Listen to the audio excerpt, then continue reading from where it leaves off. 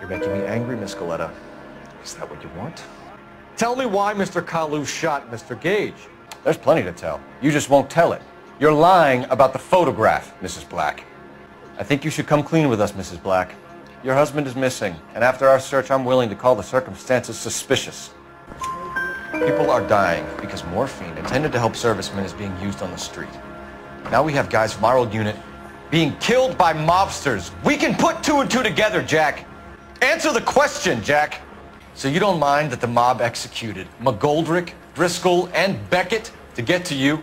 You or Jack, Courtney, I don't care who goes to jail. I just want the morphine off the street. You can do this the easy way with me, or I can call my partner back over.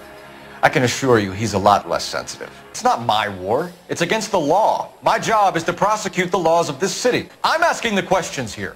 You blew up six blocks. God knows how many people are dead. But you had no personal contact with any of the employees. And you have no idea what caused the explosion. We found a family burnt out in their home. Another house burned to the ground. Another Elysian Fields flyer. Our information is that they didn't want to sell. Your face is all over the flyers, Mr. Monroe. You know about the prizes, and you're aware that they get given to holdouts. Come on, Mr. Monroe. You expect me to believe that you would build a new development with one of those old piles smack bang in the center of it? I think Suburban is a front for your anarchist buddies. They're arranging for people to be out of town while you burn their houses down. Matthew Ryan, I'm charging you with committing a series of arsons and for the murders of Hank Sawyer, Edwina Sawyer, Henry Sawyer, and Jessica Sawyer. Do you want to get dragged into this, McCaffrey? Do you want us to get interested in you? Do you want to save me some time, or do you want me to look up your file? This place you worked have a name? You're maybe 5'5", 5'6", tops. And you wear size 11s? I don't think so, Eli. We either hang this on you or McCaffrey. You better give us something.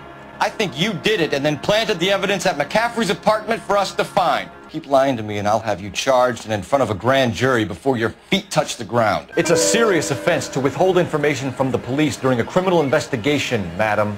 Miss Hamilton's underwear were physically torn from her body. Why is the payment going to Hopgood and not McAfee? Julia Randall has been your patient for nearly a year. I'm sure you know that.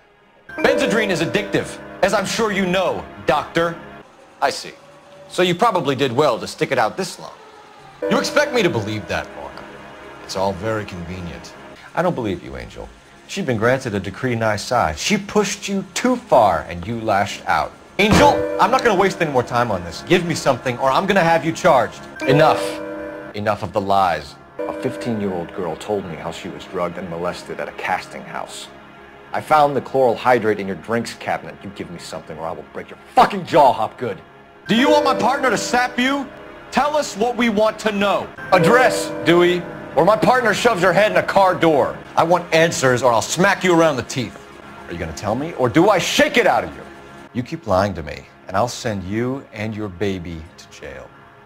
You're a two-time loser. If you don't give me something, I'm going to ask the DA for the maximum. You're looking at 10 years, Belasco. Kiss your youth goodbye.